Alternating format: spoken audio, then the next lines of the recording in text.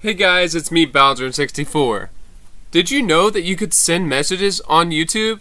That's right, even after all the updates Google has done, you can still send messages to specific users and channels on YouTube. The key is you want to find the user that you want to send a message to. Say I wanted to send a message to this does not compute, which is one of my idols when it comes to YouTube. He's really cool. I really enjoy his video logs. You should definitely check him out. You just have to go to the About tab of the user that you want to send a message to. Click Send Message right here.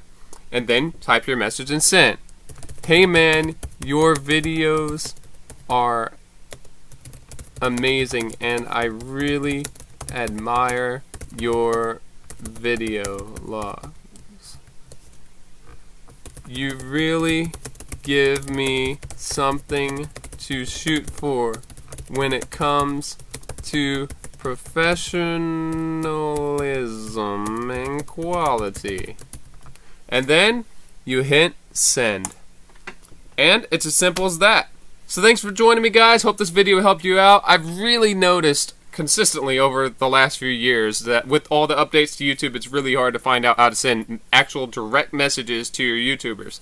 I know all about the discussion tab, and that's easy to find, where you can type in your comment, you're like, hey, your videos are awesome, but then everybody else sees it, and it's not as personal. You know, I like the personal touch of sending an actual message to a user now and then. So thanks so much for watching, guys. Hope this video helped you out. If it helped you, hit like button. If it didn't, hit the dislike button. And please tell me why if you hit that dislike button.